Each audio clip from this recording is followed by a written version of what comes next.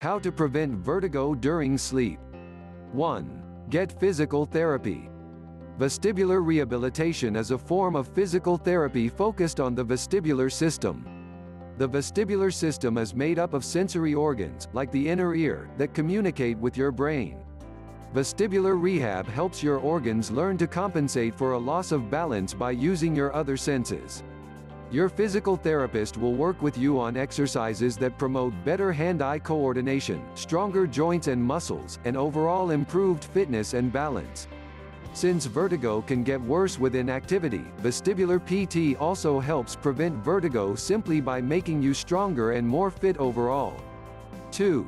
Sleep on your back. Speaking of sleep position, the best sleep position for vertigo sufferers is on the back. Back sleeping prevents the calcium deposits from shifting in cases of BPPV, or the fluid deposits from building up in cases of Meniere's disease.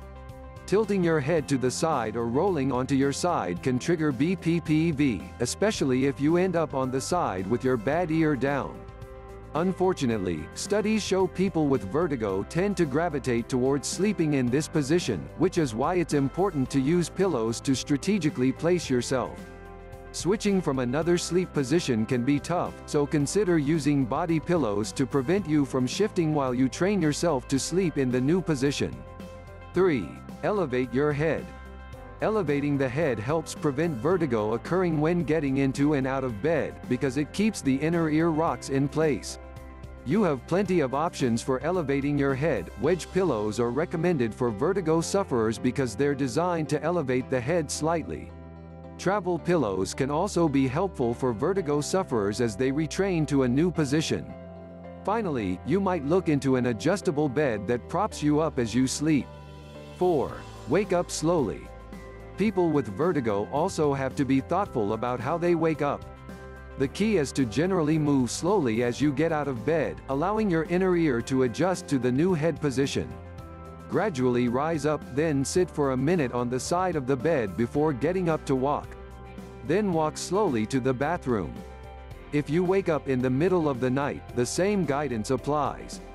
Also avoid walking in the dark, as you're even more prone to injury if vertigo strikes. Turn on a light to illuminate your way, but use a lower wattage so it's not too bright to wake you back up. 5. Minimize stress. Stress is linked with insomnia, as well as a higher incidence of vertigo.